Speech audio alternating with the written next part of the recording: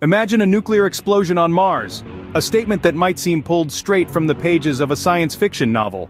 Yet this idea has been proposed and discussed in the realm of scientific possibility, most notably by SpaceX founder Elon Musk. But why consider such a drastic measure? The answer lies in an ambitious goal, known as terraforming.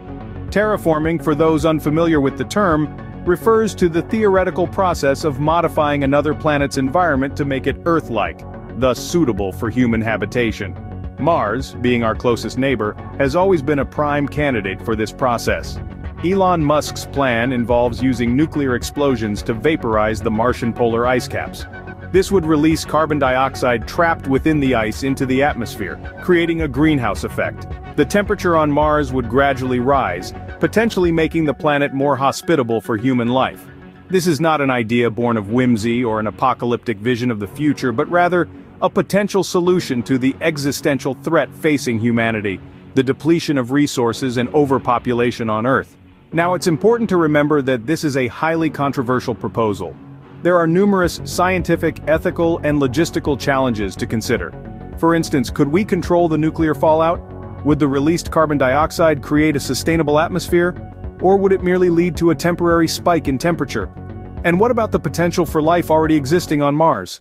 Could a nuclear explosion wipe out any chance of discovering Martian life?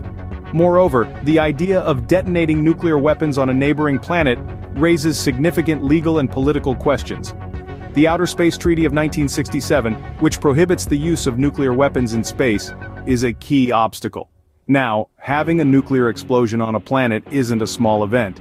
Let's delve into what this could entail. The next scenes will explore the immediate impact, long-term consequences, the potential for life on Mars, and possible alternatives to this nuclear conundrum. A nuclear explosion is no child's play. It has far-reaching consequences. Let's imagine for a moment the immediate aftermath of such an event on Mars. The first thing that would happen is the creation of an artificial sun. This is because the sheer amount of energy released in a nuclear explosion is so immense, it can actually create a ball of plasma that glows as brightly as our own sun. Now this artificial sun would not last very long, however, during its brief existence, it would release an enormous amount of heat and radiation, which would have a dramatic effect on the Martian environment. The heat would cause the polar ice caps to melt, releasing vast quantities of water vapor into the atmosphere. The radiation on the other hand would ionize the gases in the Martian atmosphere, creating a powerful electromagnetic pulse, or EMP.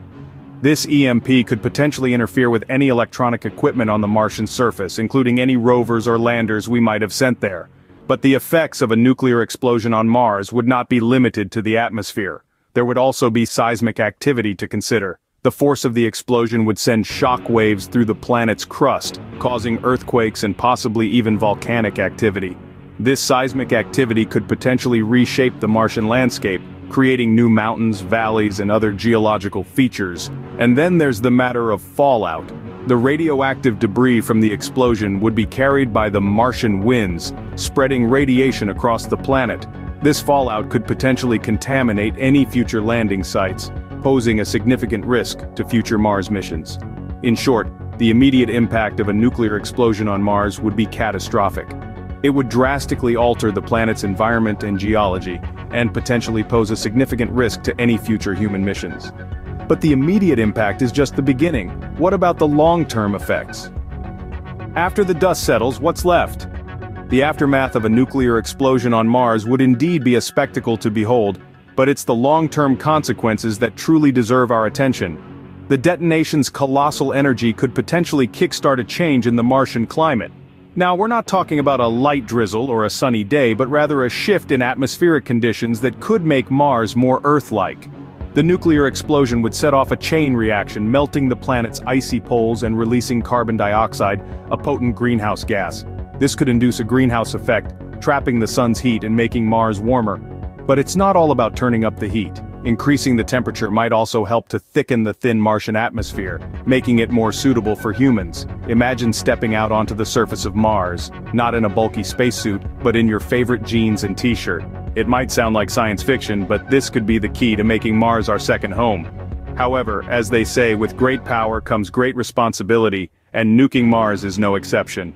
The nuclear fallout could pose considerable risks to future human colonies. The residual radiation, for instance, could linger for thousands of years, creating a hazardous environment for any potential settlers. Not to mention the fallout could also contaminate Mars's resources like water and soil, making them unsuitable for consumption or farming. Moreover, the explosion might also destabilize the Martian surface, triggering earthquakes or Marsquakes, as we like to call them. These seismic activities could cause landslides, creating an unpredictable and dangerous landscape for future explorers. So while the idea of nuking Mars might seem like a quick fix to making the planet more habitable, the long-term consequences could be far-reaching and potentially harmful. As we venture into the realm of interplanetary colonization, we must tread carefully and consider the lasting effects of our actions. These long-term effects could drastically alter the Red Planet, but what about life on Mars? Could a nuclear explosion wipe out Martian life? A question that might sound like science fiction. But today it's a very real consideration. Let's delve into the potential impact of a nuclear explosion on any existing or future life on Mars. Imagine for a moment, the red dusty landscape of Mars. A place where we've long speculated about the existence of life. From microscopic organisms to the possibility of ancient civilizations. Now imagine that landscape subjected to a nuclear explosion. The radiation unleashed would be cataclysmic, with the potential to obliterate any life forms that may exist, or could potentially exist in the future. Radiation, as we know, is a powerful and destructive force. It can break down the fundamental building blocks of life, DNA.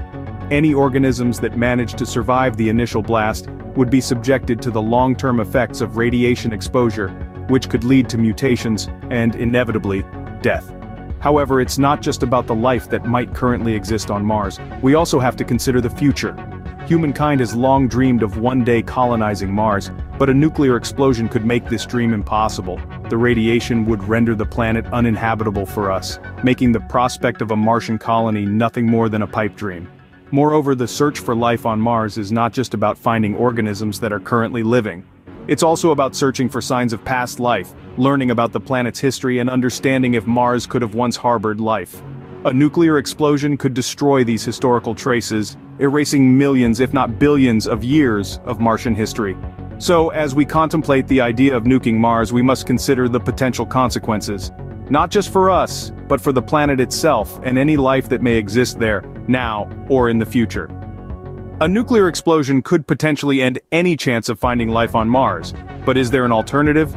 As we move forward we must consider this question carefully, weighing the potential benefits against the undeniable risks. The future of Mars, and potentially the future of humankind, hangs in the balance. Nuking Mars might not be the best idea, so, what are the alternatives? Well, there are several ways we can approach this. One alternative is the slow process of terraforming. Rather than violently reshaping Mars with nuclear explosions, we could gradually alter its climate over hundreds or even thousands of years. This would involve a variety of methods, from introducing greenhouse gases to increase the planet's temperature, to building giant mirrors in space to reflect sunlight onto the Martian surface. But terraforming isn't our only option. Another intriguing possibility is the use of bioengineered organisms.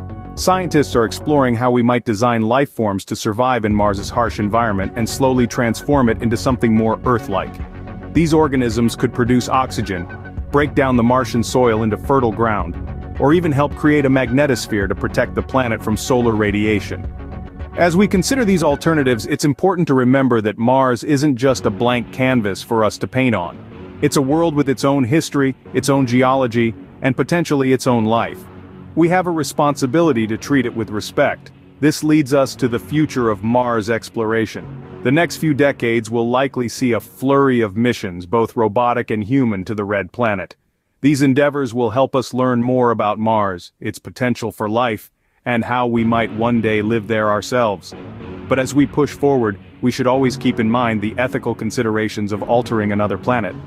Should we change Mars to suit us? Or should we change ourselves to suit Mars? It's a question without easy answers.